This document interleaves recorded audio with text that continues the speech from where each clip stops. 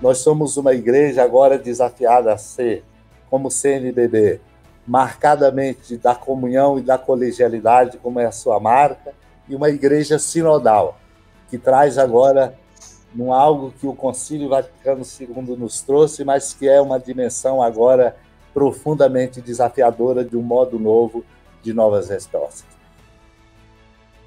A Conferência Nacional dos Bispos do Brasil, a CNBB, é a unidade na diversidade da igreja no Brasil. Então, essa riqueza que a CNBB se tornou durante toda a sua história deriva do Evangelho e da tradição da igreja.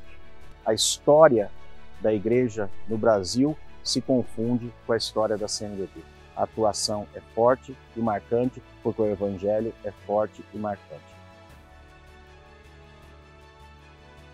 Celebrar o aniversário de uma instituição como a CNBB é render graças a Deus por todo o bem que ela tem feito à igreja no Brasil ao longo desses anos, seja como instância de comunhão e participação, de serviço prestado à igreja no Brasil por meio das comissões, dos regionais, com uma única finalidade, para que Jesus Cristo seja conhecido, amado e seguido.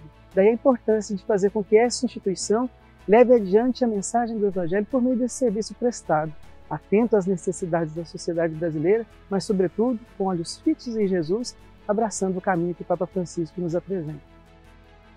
Continuar a ser uma, uma igreja de serviço aos pobres. Ela pode ser tudo, mas não pode abandonar os pobres. Tem que ser desprendida e ter consciência que ela serve mais do que é servida deve ser essa expressão de amor paterno do lado paterno da igreja para o povo.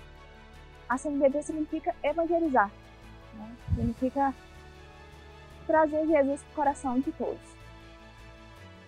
Parabéns, CNBB. Vida longa a essa instituição que faz tanto bem ao nosso querido Brasil. Parabéns à CNBB, parabéns aos nossos bispos que se unem mesmo na diversidade de suas realidades. Parabéns, CNBB, pelos seus 69 anos de vida.